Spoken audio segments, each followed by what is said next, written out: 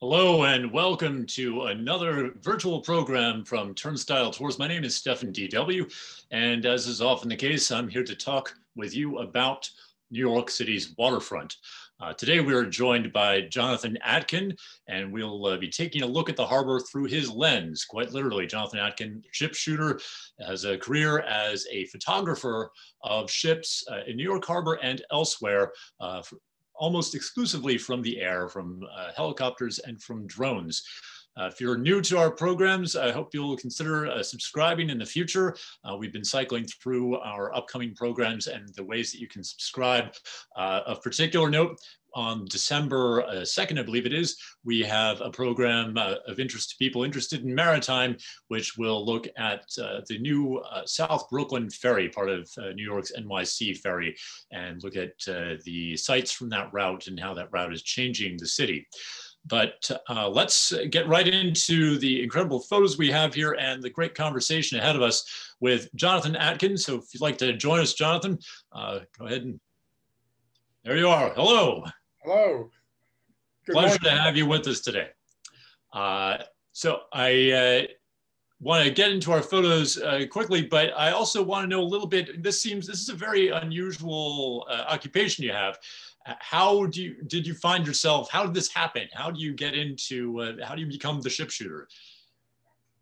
I, have been photographing ships uh, since I was 18 as a merchant seaman, and then I've been around ships because of my father's involvement in the shipping industry. But as a commercial photographer, uh, as a uh, I was primarily doing a lot of work for the New York Times travel section, and I became sort of the go-to guy for photographing the new cruise ships, and um, that blossomed into a larger, uh, pretty much a, a larger effort to do more than simply cruise ships, but the number of cargo ships in the world is far and it exceeds even one or two cargo lines have more ships than the entire cruise industry.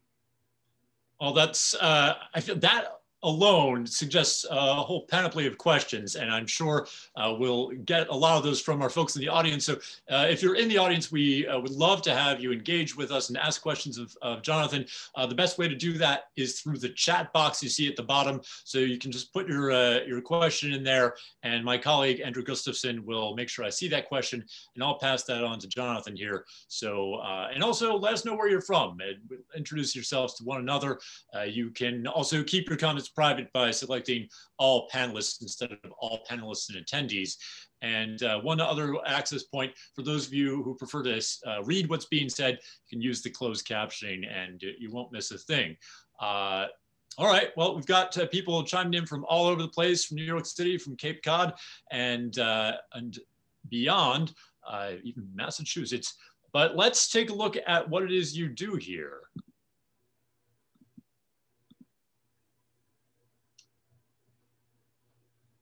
All right. Uh, so I'm looking at a photo here that's, uh, wow, this is, this really encompasses York Harbor to me. It's uh, only a few elements, but it kind of tells the whole story.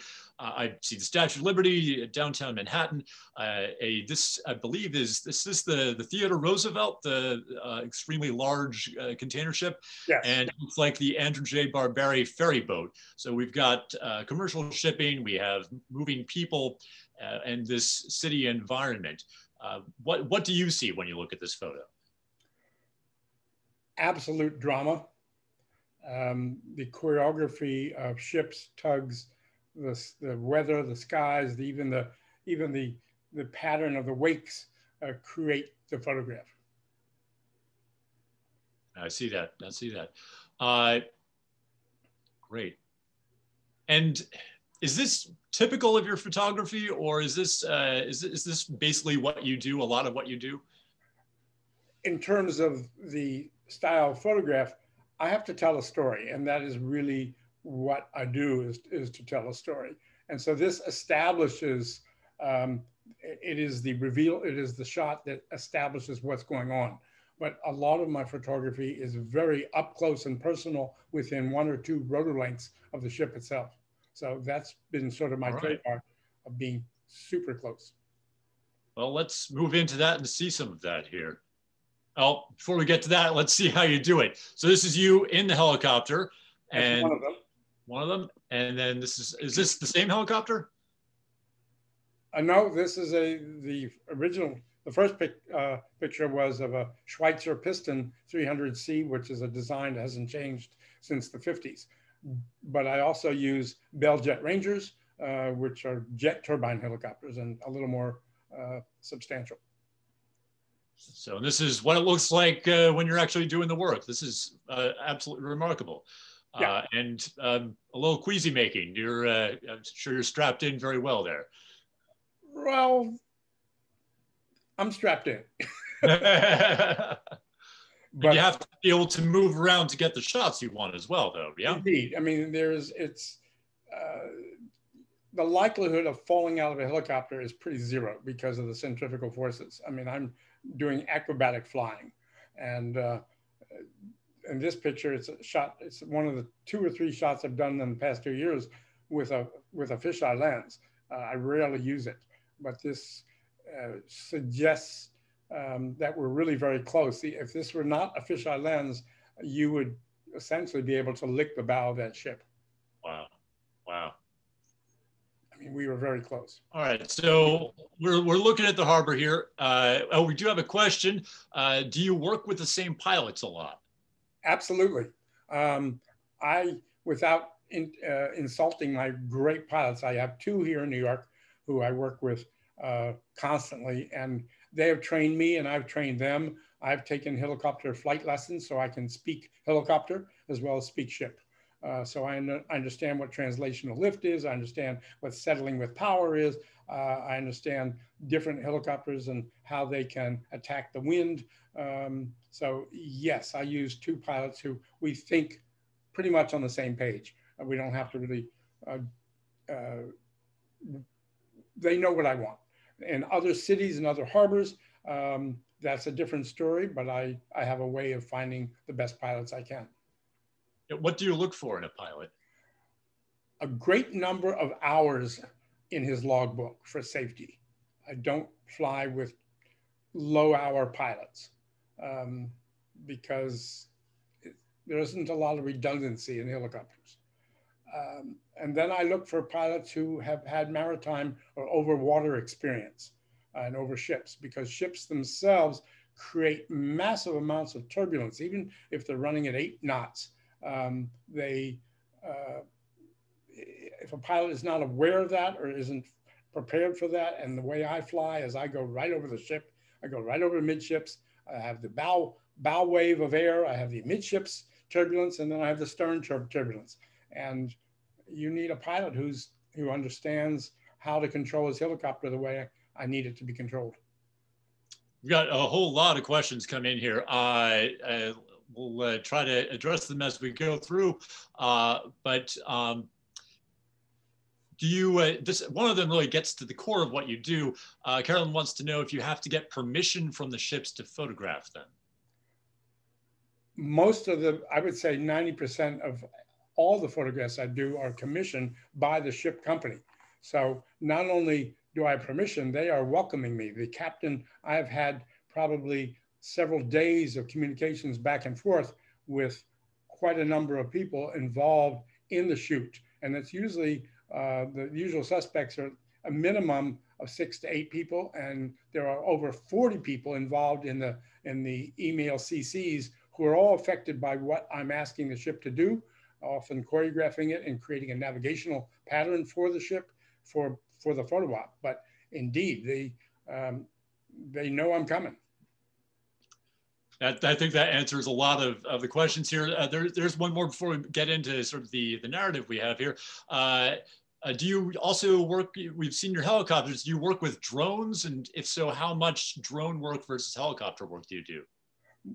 Most of my work is still about 90% with manned uh, robust helicopters. Nothing better than a robust helicopter. It, you have no lack of, you have no limit of payloads, you have no limit of time, no limits of for all intents and purposes, weather, and you don't have to go through a lot of uh, uh, regulatory hoops. But I would say five or 10% at best uh, is drones, but within very limited spaces and places, particularly in New York Harbor, where I have to follow very strict and stringent uh, FAA rules and, and other uh, issues with other regulatory agencies as well.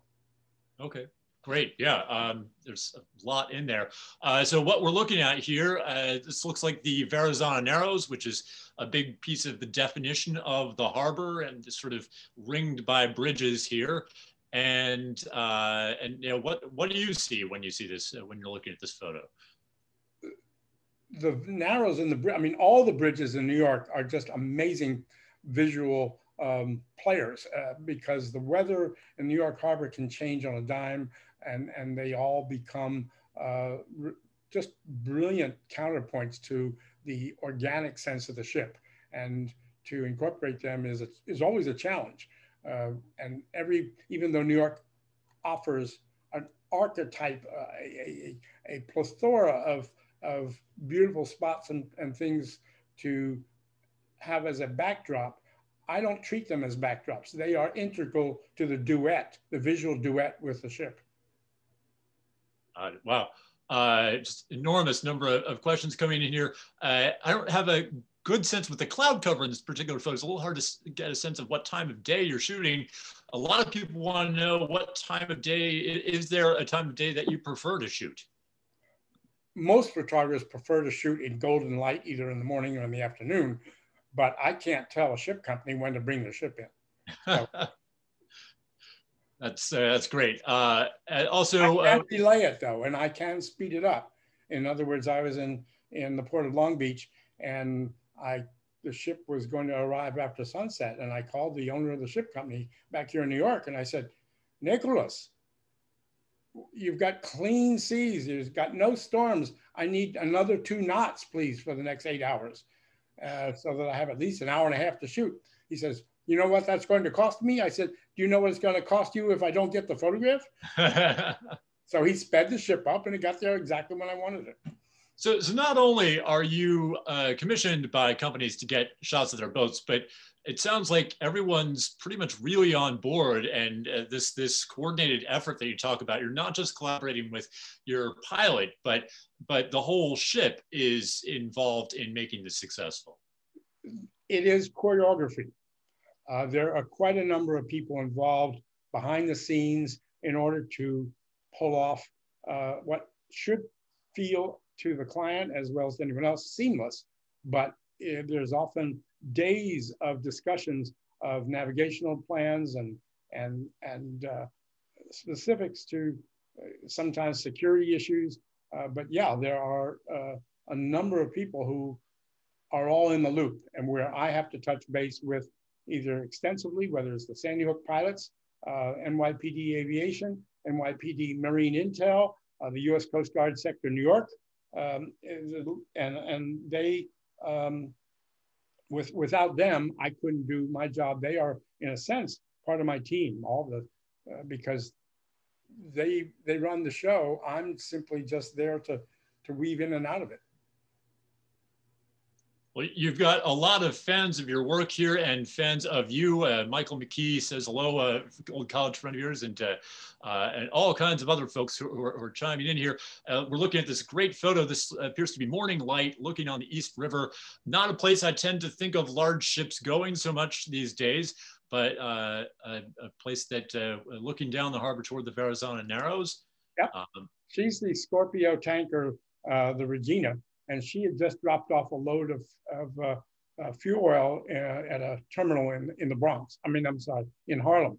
and um, uh, it is rare. She's not a she's not a super large tanker, but she is a product tanker, and she may have six or seven different um, uh, products, whether it be glycerin or naphtha uh, or kerosene or fuel oil there's multiple tanks for different clients where she drops off different products.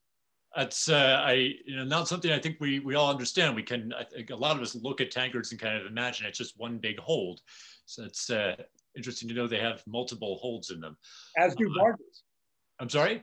As do barges. It's, it's not just a bucket with a tugboat pushing it. It's it's there's multiple products in in what called what are called tank barges. Right, right. So here we go. Uh, we're now we're uh, at the Bayonne Bridge, which uh, was recently raised for ships like I think like the one we're looking at here. This again looks like the Theodore Roosevelt, with uh, very unusual to see all the same color box on the ship. Uh, yeah, I mean this was if you see that the ship uh, her freeboard is fairly high as well. There's probably very little, if anything, in those boxes. It was a photo op for CMA CGM. It's a big commitment to a photo op. Uh, we had a question from uh, someone in Seattle wanted to know what port do you find the most picturesque? Um, I'm a New Yorker. I mean, no other no other city has the number of bridges and the complexities. Uh, I mean, Vancouver is pretty amazing, uh, if nothing else, because of the variety of of traffic in the port. Here, our cargo ships are not really seen that much uh, by the public. Right. Uh, they go off into Port Elizabeth and where we're in the, the Kill Van Kull, uh, and and they don't really go by the Statue of Liberty like cruise ships do. So it's there. The port is relatively hidden. Vancouver, everything is there. They have more scheduled float plane takeoffs and landings than any other place in the world. Um, they they have yachts and they have uh, cargo ships, and it's just an exciting port. But it's and there is a bridge, um, but it's um, you know there's nothing like New York Harbor. And as I said to one client who who was concerned about uh, whether he wanted to have photography done, I said, well, you you can't take the Statue of Liberty back to India. So whereas, uh, and I personally, uh, speaking of, of sort of backdrops and views, and and I am a great admirer of the view of, of the container cranes with Mount Rainier in the background. So for the person who asked from Seattle, uh, no, no shame there. But uh, uh, in terms of shooting uh, ships, you know, the Kill Van Kull, which is the waterway we're looking at here, uh, and, uh, is really a remarkable place for New York Harbor because you get to be so close to the ships. It's such a narrow piece of water, and there are several places where it's easy to get to the water's edge as a you know conventional person. Uh, another question is, do you have any tips for photographers wanting to uh, photograph from land? Well, I mean, that's all photography essentially resides around the same principles of knowing what you're looking at and and uh, uh, holding. I mean, the majority of bad photographs because people don't hold their camera steady.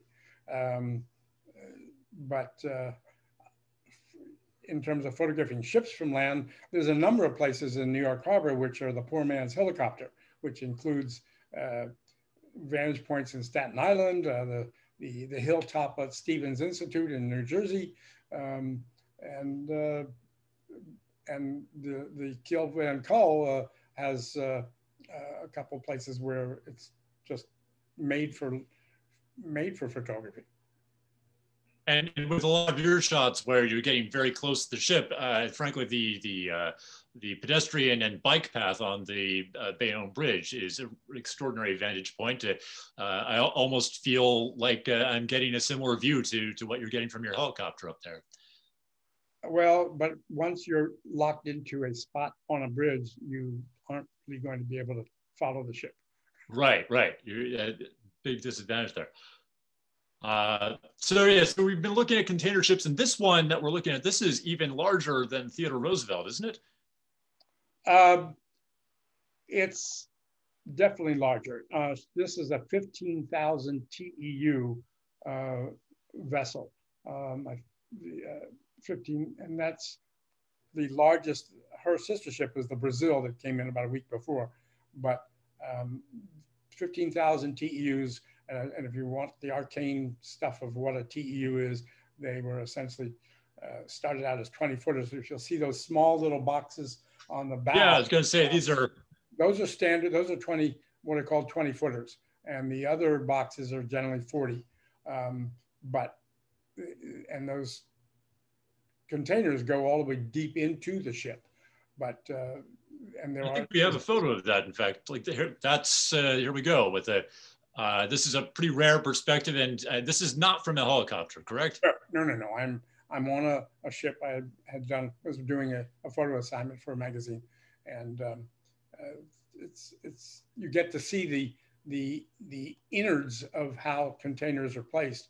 And um, the uh, cargo boss is, I mean, the, the act of knowing the displacement or the, the, the where stuff has to be because they have to go in and they have to come out in time for different ports. Um, it's not just throw it all in and empty it all out. Um, a ship may make several stops before she gets different containers out of there. And there's also, of course, the uh, stability factors of any ship and how it's loaded. And it's a, it's a, it's a magnificent science as well as an art. Uh, we had a question from looks like Sean Adams wanted to know if you've uh, had to photograph on a stormy sea or other situation where you had safety concerns. Um, there is, in terms of photographing from a helicopter, there, there I've photographed in 40 knot winds, um, and I have been on ships as a merchant seaman um, in stormy seas, and where the bosun said, "Jonathan, do not go out on deck today."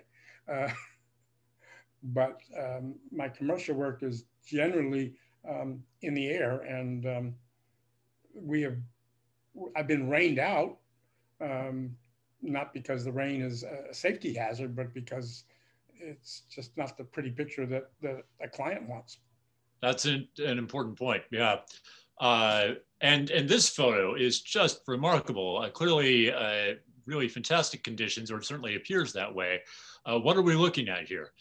Well, in the foreground is the, well, the, both, I mean, the whole picture is the rendezvous, the very unique and special rendezvous of the Queen Mary II uh, and uh, Britain's uh, newest aircraft carrier, the Her Majesty's ship, the Queen Elizabeth. So two exquisite queens are came into the port.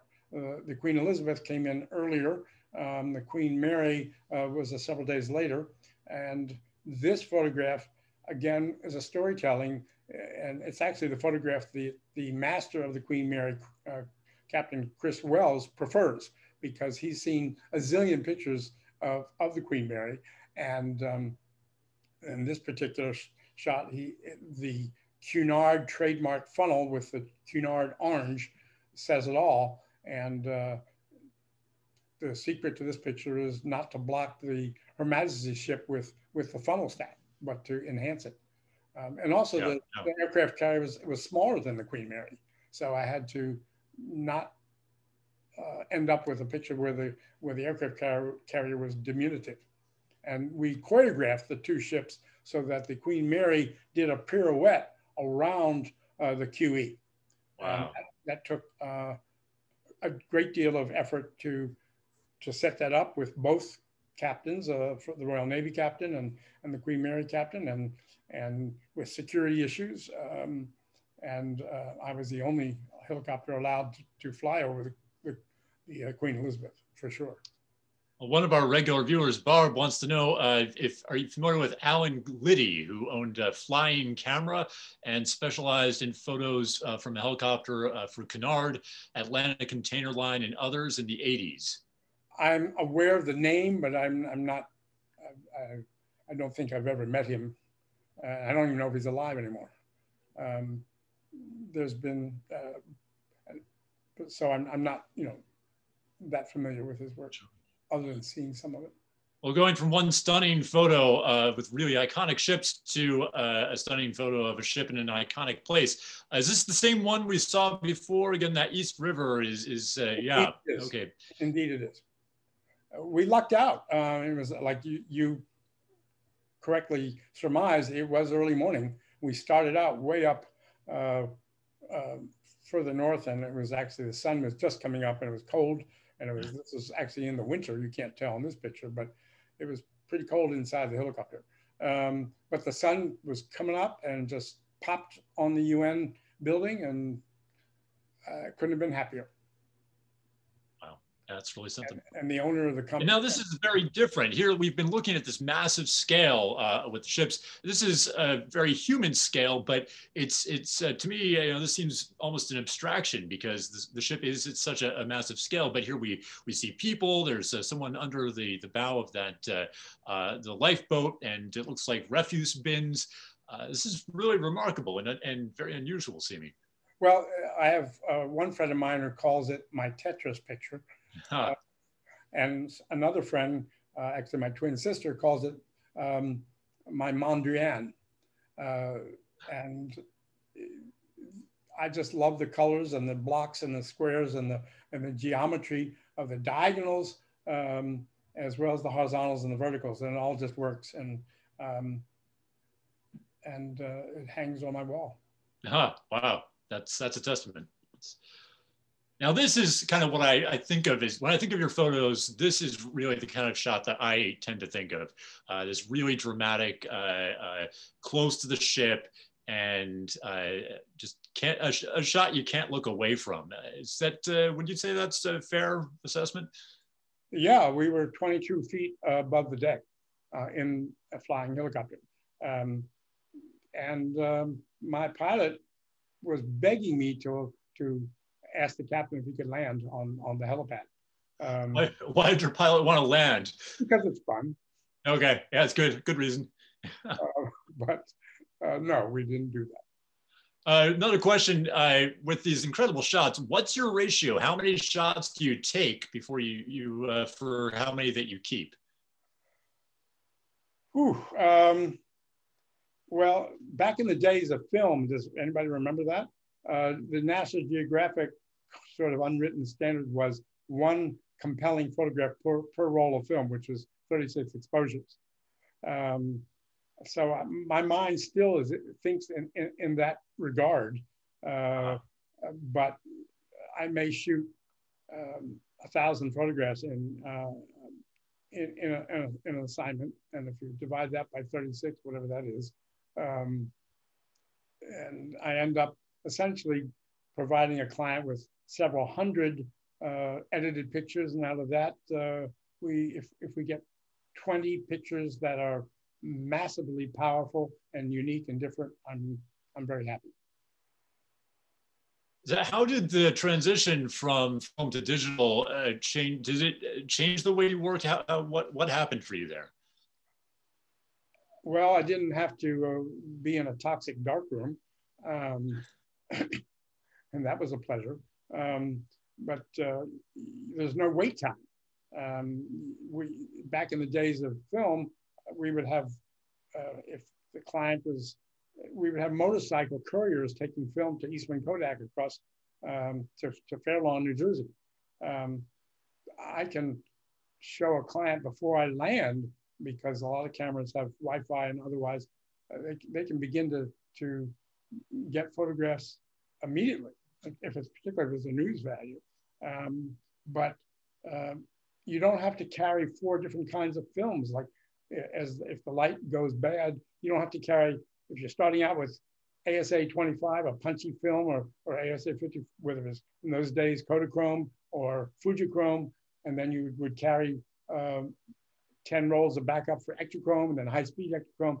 And, and you couldn't you had to have at least three cameras so that you can be prepared. Today, with uh, digital sensors, every kind of film is already in your camera. Wow. Yeah. So, so what are we looking at here? Is this uh, a fairly typical? It, I again, we're looking down on a ship from what feels like very close to it. Uh, what sets this uh, image apart from others that you've taken? Well, it's rare that you get to see um, docking lines that have not been besmirched by, by dirt. And so as I was flying to the ship, I called the captain on my VHF and I said, Captain, could you have your bosun uh, flake out the lines on, on the forecastle? And he grumbled and he said, how much time do I have? I said, well, we're flying a, with a helicopter is costing us about 1400 an hour, uh, about 10 minutes. that seems and, pretty generous.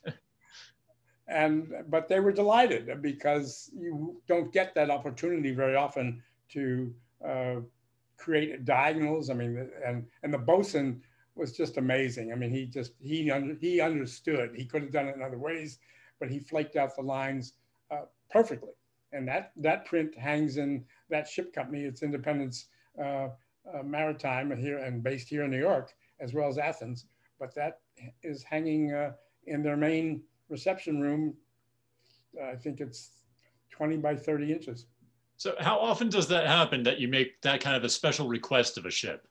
Regularly, uh, simply because um, I understand, I speak ship and I know the nuances. The owners of ships love the nuances of their ships. They love the detail. And there are details that I'm aware of that just someone who's looking for a pretty picture may not be aware of. And I ask them to do things uh, such as opening hatches um, because uh, uh, ships that ply the trade to bulk ships, particularly who ply the trade to, say, Australia, have to have circular uh, ladders that go into the holds. That's their OSHA requirement, so to speak. And so if I open the hatches and I photograph and you can see that circular stairway, the owners are just pleased as punch because, uh, you know, I had one owner say, how did you know that? I said, well, that's why you hired me. Yeah, you mentioned that you've uh, you had a, a career uh, working on ships, or you worked on ships for a while, and and this idea of, of speaking ship, and we sort of understand what that means. But as you tell more stories, it becomes more clear, you know. Um, and and uh, how did your your ability to speak ship did that impact this really dramatic photo we're looking at here? Um, well, this is the Kill Van Kull, as we've discussed before, and it's a traffic jam, and there's not a lot of space between the two ships. Uh, I'm very aware, as, as is my pilot, was and this and this one was Dennis Lever, um, and we were in the piston uh, Schweizer, and there's a huge amount of turbulence coming from the bow, even though the ships are moving slow, and there's also turbulence between the two ships. Uh, I don't know that my um, speaking ship uh, was as important in these pictures other than being completely mesmerized by the drama um, of two massive ships, you know, passing in a very small channel. And I wanted to create a photograph that had that tension.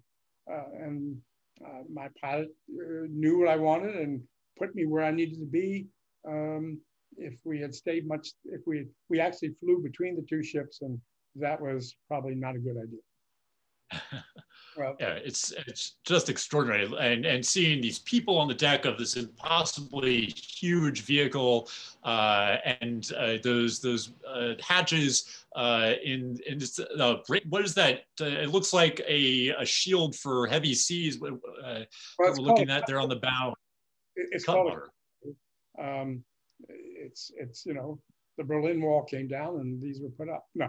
Um, But these do protect the ship in theory. I've never seen, uh, but almost every, even the Queen Mary um, has a V-shaped cutwater uh, on her foredeck.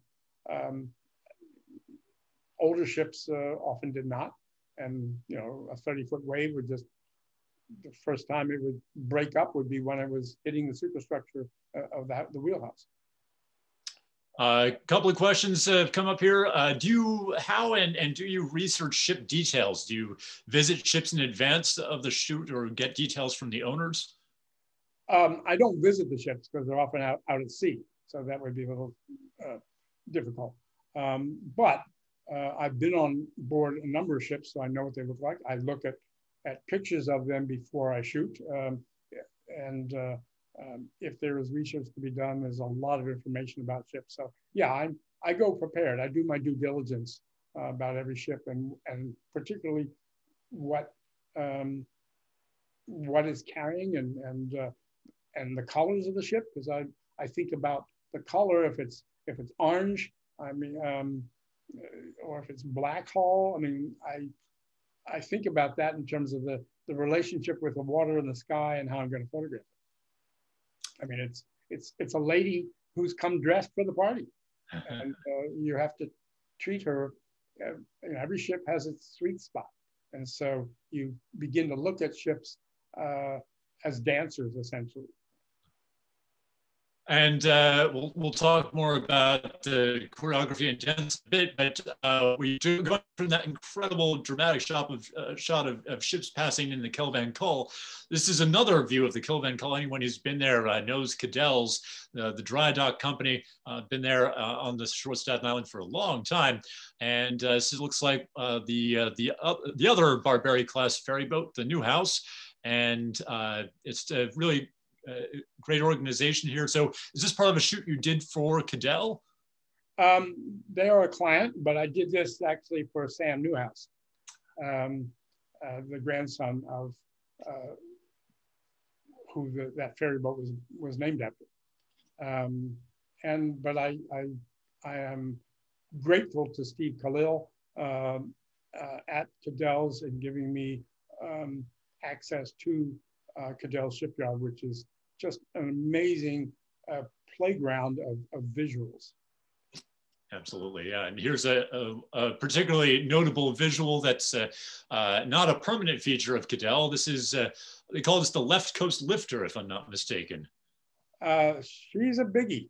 Um, that business end of her crane is over 150 feet in the air. And that's one of my client's ships, um, um, from Norway, coming up to KVK. Um, and it, it, was just happenstance, but um, Odfjell is, is uh, very happy to, to have that photograph. Um, photographing at Caddell's is uh, generally I'm doing obviously drones. That makes sense because there's uh, so much going on there. And of course, another uh, feature of the Kill Van Kull, we have the, uh, a lot of the tugboat companies are based there. Uh, these look like uh, McAllister tugboats. Um, what, what are we looking at here? Well, this is um, Euronav's monstrous tankers, one of the biggest tankers that come into New York, at least to my knowledge, um, carrying 600,000 barrels of Sahara crude. Um, and they called me from Europe saying, uh, Jonathan, will we see the lower Manhattan where the ship has to come in to the Kill Van Kull to Bayway to discharge your cargo? I said, not really. I mean, it'll be quite a distance. And what do we get to see the Statue of Liberty? And I said, well, no. So they said, what's our choice? I said, call up Buckley McAllister and arrange to have three tugs push that ship where I'm will tell you where I want her. And um, and we did that. Uh, the night before it was raining cats and dogs, and I had to give. I, I was on on the hook for a massive expense of, of, of getting that ship where it needed to be. And I called my weather sources, and they said uh, because you have to you have to you have to say to the tugs at least four hours in advance exactly when you're ready to, to have them run. And um, once you pull the uh, the pin on that, uh, you've, you, whether it's raining or not, you know, the, the clock starts. So uh, fortunately, the rain cleared. The, the, weather people said, no, exactly at that time, you'll be fine. It was raining cats and dogs all night. I was biting my nails and um, it, it became beautiful. And so we brought the ship up to the lower battery and then we turned her around and made a number of photographs uh, in multiple ways for Euronav. Interesting that uh, for the photographers in the audience who've been asking questions about lighting, uh, this looks like maybe two in the afternoon, that uh, just judging by the shadows. Uh, the answer is, uh, I think it was actually uh, late morning by that time, and because okay. if you're you're looking north, and your light is coming well, in this situation, the light is coming from the west, but I, would have to check on the actual season because the light moves around. Sure. Uh, so it could be uh, the light was a little more. If you see the shadow, it's actually coming from a southern uh, direction, but it was very late in, in morning, if not early afternoon. Yeah, but, but the point is that uh, the sun is high in the sky, and still we have a really impressive shot of a ship uh, in New York Harbor. And uh, getting a little closer on the tug work here, uh, again, anytime that I see a person, you know, the, the human scale uh, around these ships, I am just absolutely knocked out. Uh, looks like they're, uh, they've got a heaving line and they're, they're uh, getting hooked up with the, the, the, tugboat in the shop. Well, I, I photographed this for McAllister, and this was, the, the Zim Antwerp was the first large container ship to challenge the, the new Bayonne Bridge height. Um, and uh, as much as the CMA CGM ship uh, was the uh, photo op, uh, Zim Antwerp was really the first and a working ship with, you know, with containers that had stuff in them. Um, but my challenge and my, my mandate from uh, McAllister was show us what we do. And so when you pull a ship that size around Constable Hook, or affectionately known as Con Hook, uh, it's really quite a ballet of tugboats and ship pulling that stern around. And um, that's what there was some, there's many other photographs, but. Yeah, yeah. So we've got some more photos of, of, of that ballet here. I know we only have a few minutes left and we're only about halfway through our shots. So we want to make sure we talk about Sandy Hook pilots before we wrap up today.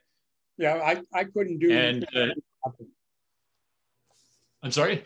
I couldn't do what I do without Sandy Hook pilots. They are an amazing, uh, uh, knowledgeable, helpful, gracious uh, group of pilots who just um, are just part of my team every day, every every time I'm in the port.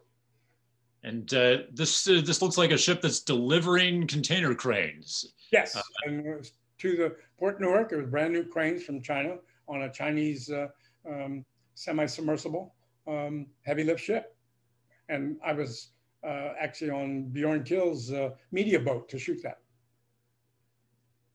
This is another sort of unusual looking ship here, also a heavy lift ship, right? Yes, she uh, was in the port to take away a number of tugboats and barges from uh, Reinauer, and um, the Coast Guard got a number of phone calls saying, "Oh, the ship is sunk." well, it, it, it did sink, but purposely, you know, to load the, the ships. And then something a little more typical, uh, kind of thing I feel like I see every time I look at the harbor. We've got uh, a simple hopper barge with uh, a tug pushing along here. Yeah, that's uh, the Sarah, uh, uh, the Sarah Ann um, and it's a Donjon boat. Um, yeah, and the bright blue, uh, the bright blue boats of Donjon, and uh, and then we're looking. At this is, I think, probably the most common sight in the harbor here. Uh, what what is this that we're looking at? This is an articulated tug barge uh, with a knot, and it's a. Um, this was a shot for uh, um, Bollinger Shipyards, uh, who had just built it, and and they at that time were just putting out barge after barge because of all the the uh, oil and, and, and, petroleum that was coming out of all the Canadian pipelines, um, and that's what essentially made us an exporter of oil, as opposed to uh, not being exported. but so, so, the, so, these are ATBs, these uh, uh, articulated tug barges, they're moving uh, petroleum around the harbor. Um, yeah, or to uh, they're picking up the oil from a, a, terminal, from a pipeline generally, and taking it to somewhere else. Uh, this was in the Kill Van Kull, and I brought the helicopter actually closer than that because, again, the de you, the details of, of these of these vessels are just phenomenal. I mean, I, and I love diagonals. I got another diagonal here with uh, Stalwart of the Harbor. We can't uh, talk about the harbor without mentioning the Coast Guard. And uh, we did a whole program on the Coast Guard a while back. I don't know if Andrew wants to drop the link into that program if you want to know more about Coast Guard. Uh, which, uh, do you know much about this particular vessel? Well, she's, she's a, a, a, vessel that's been very well known in the harbor. Her, she's the Sturgeon Bay, and uh, she, um, she, she does patrol work throughout the um, the harbor. And, and this is actually a group of stalwarts. This was the uh, day that the US Navy New York uh, came in. And, and this is quite a number of, of, of friends of mine who are in, uh, in different waterfront organizations. And, and I, I was, I, I called the, the, the pilot on the boat and I said, do you need your bow painted? I was close. Wow. And of course, cruise ships are a big feature of the harbor. Uh, wow, uh, that's that's a heck of a shot you've got there. This is the Verrazano. It is. Um, it's Celebrity's Millennium, and uh, it was just fortunately a very very calm day, and I just like that sense of tangential, tangential, tangential. Well, anyway, the yeah, the, I'm good the, the, the anticipation of um, a, of movement. It's almost sort of like Mike, Michael Jordan right before he releases the ball. Um, it's that sense of tension between a moving object and a non-moving object or whatever. Because once she gets under the bridge, it's sort of it's already happened.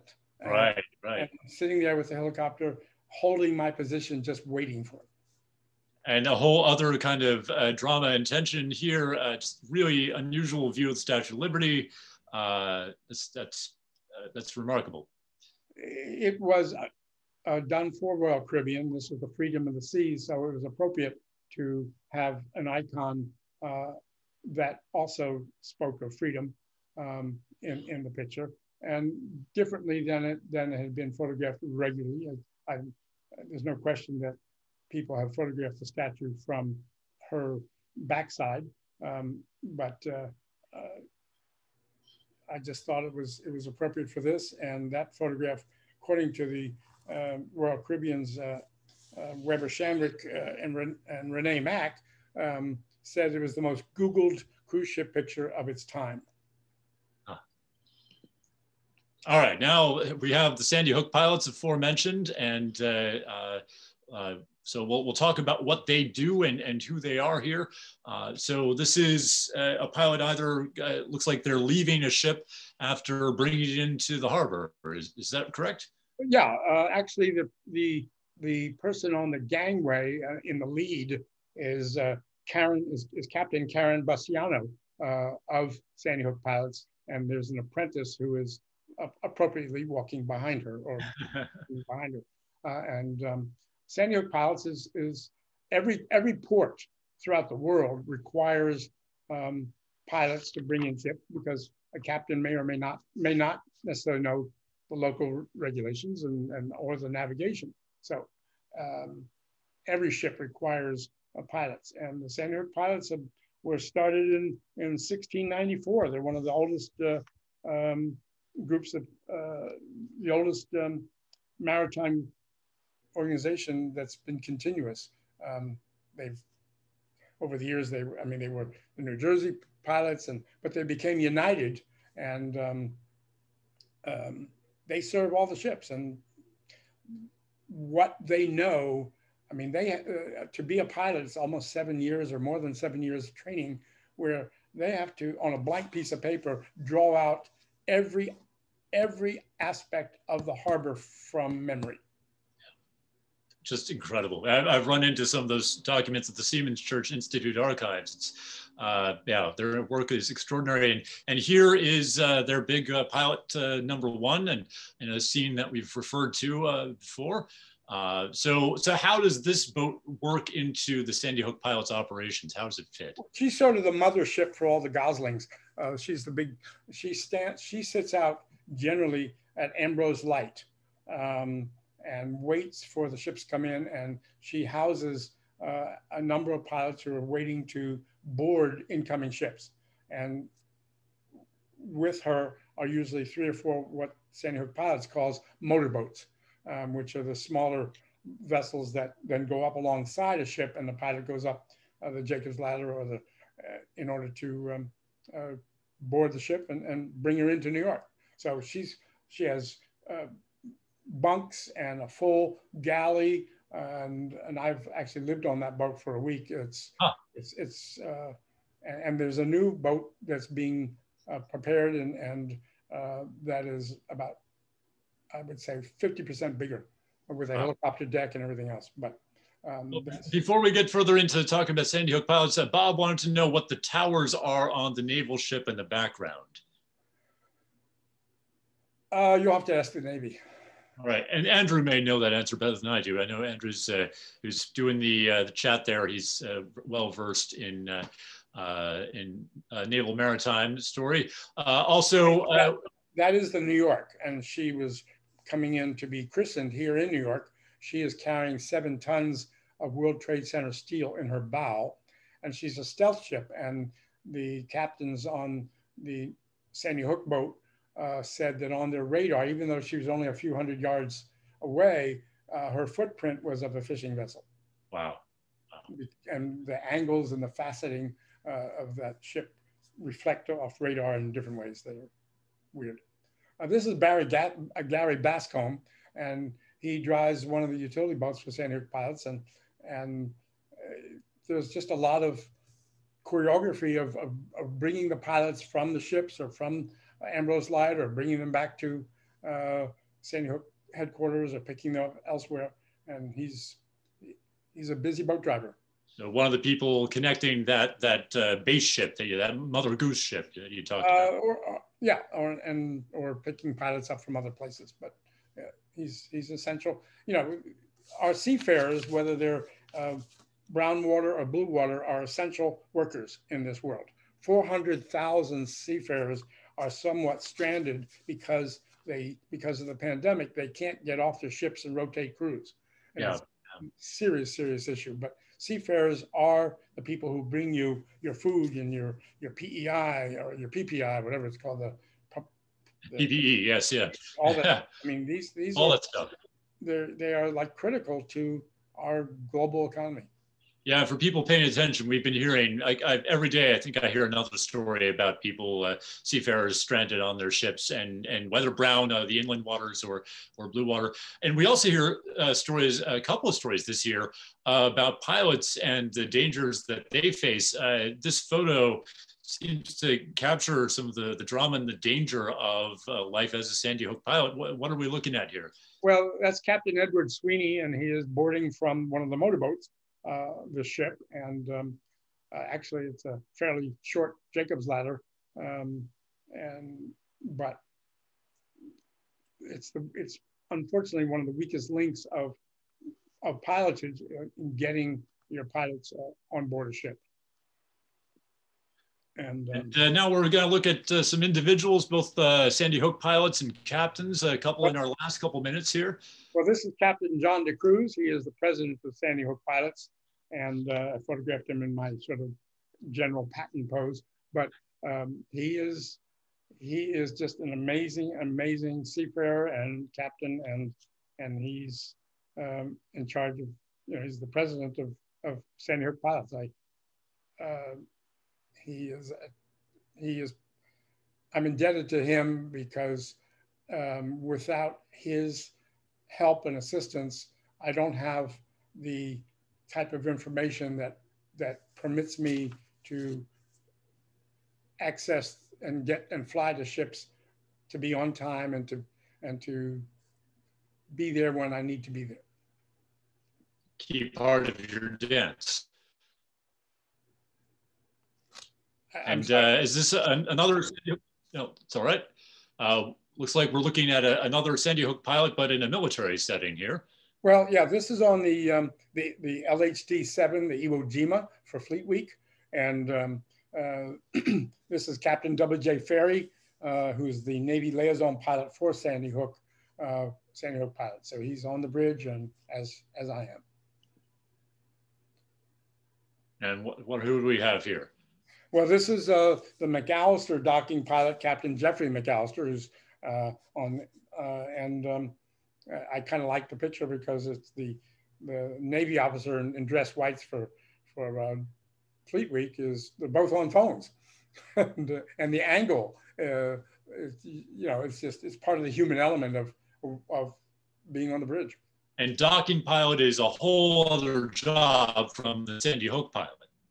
Yeah, uh, I mean they're they're um, generally involved in that.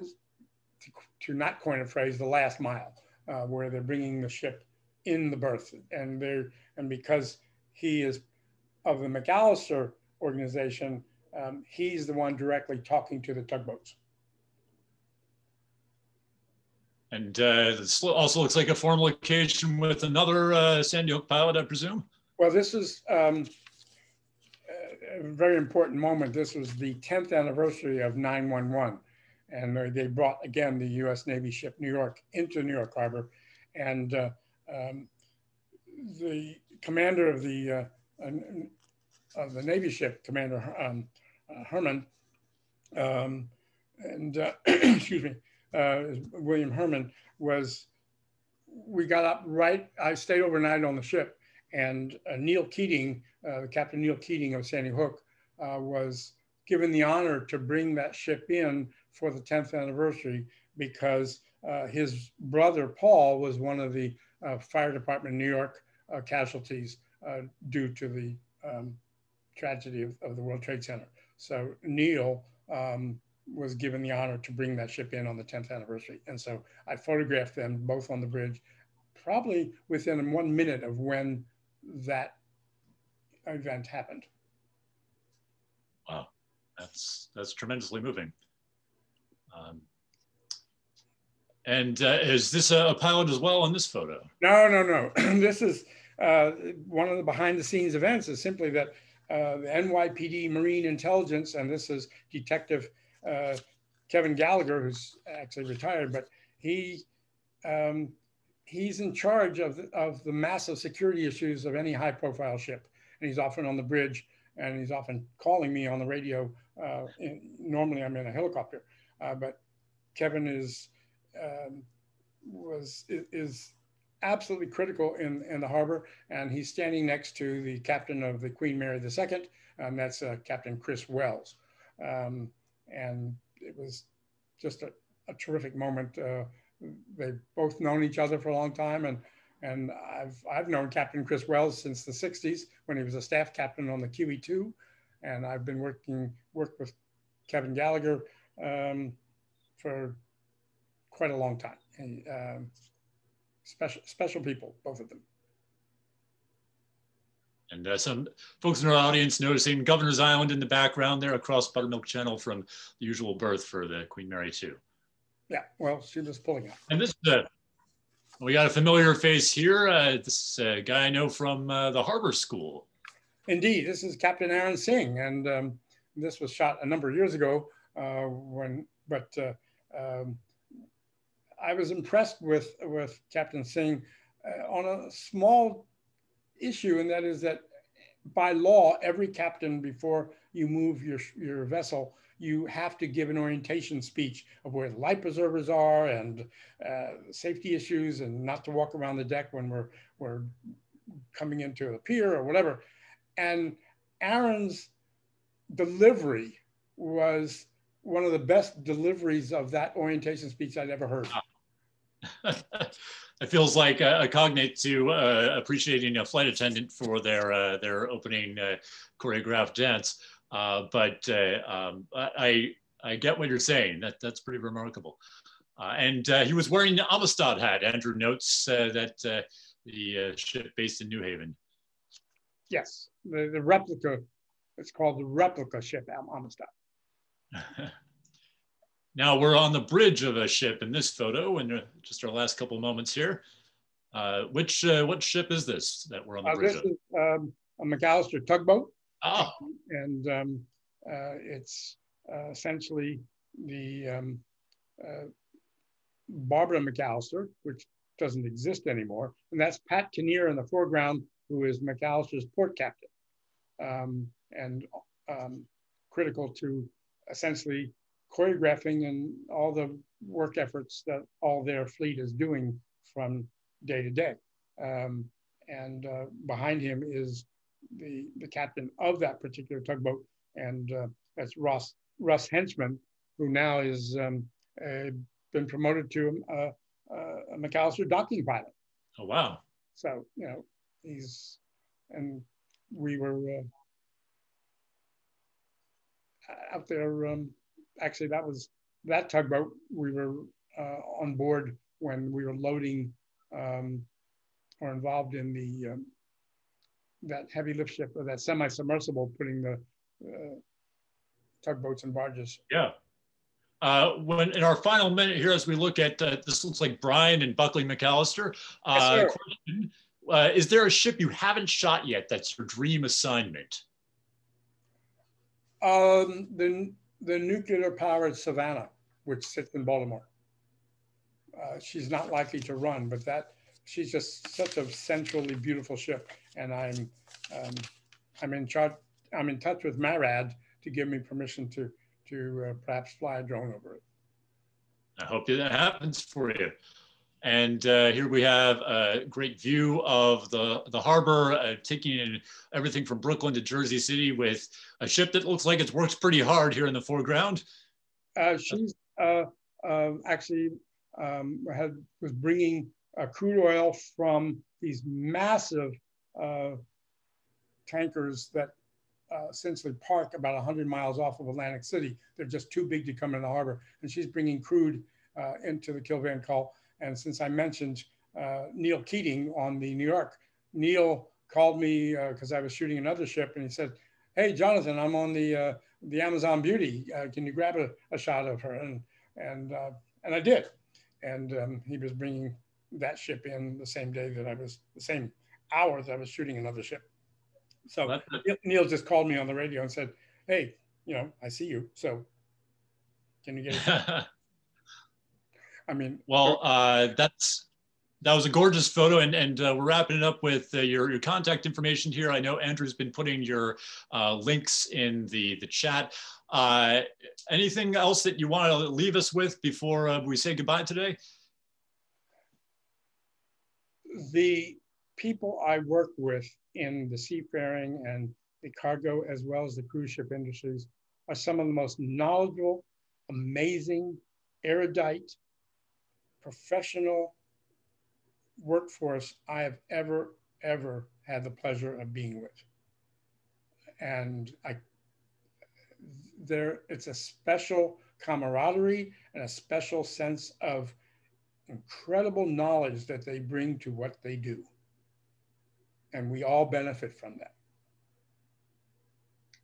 Well, I can't tell you how much I appreciate you bringing your knowledge and your professionalism and passion uh, and, and your extraordinary talent to Turnstile Tours virtual program today. Uh, it's been a real pleasure uh, getting to know the harbor through your eyes. And I hope uh, folks will, uh, you know, pay attention to your work as we move forward. And uh, I will look forward to seeing more of your work in the future, including those shots of the Savannah that you mentioned. Well, thank you so much, Stephen. It's been a, an honor and a pleasure to be asked by Turnstile to be on this program. Thank you so much. Our pleasure. And uh, all of you in the audience, thank you for joining us. We couldn't do it without you. And we'll look forward to seeing you again soon. Uh, till then, take care.